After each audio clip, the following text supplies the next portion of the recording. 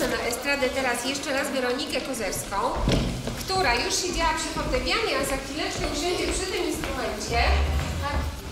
Tak, jest to harfa, bardzo dobrze. Ktoś powiedział.